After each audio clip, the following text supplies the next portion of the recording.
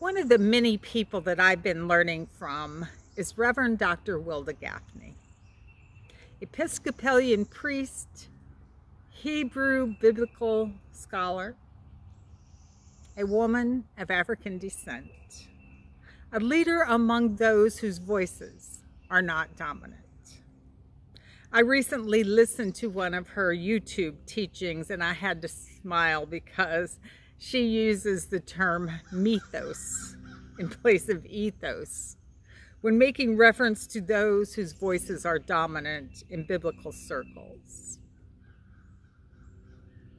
What I learned from Reverend Dr. Wilda Gafney this week, in addition to the term mythos, is that the Hebrew scriptures, which we commonly refer to as the First or the Old Testament, come from a people who straddled the Afro-Asiatic world.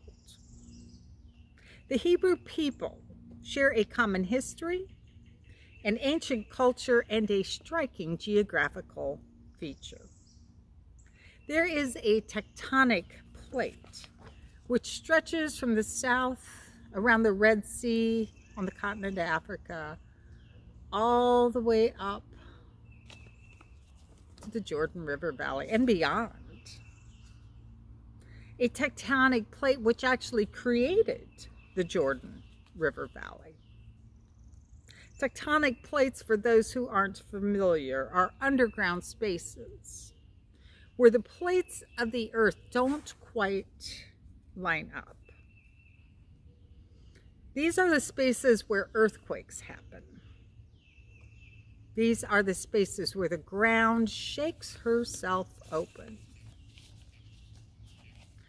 According to an article in Nat Natural History magazine, an article which was written by two authors, Tzvi ben Abraham, a man who also straddles the Afro-Asiatic world. Tzvi is the director of the Minerva Dead Sea Research Center and a professor in Tel Aviv University. The co-author is Susan Hough, a seismologist in Pasadena, California.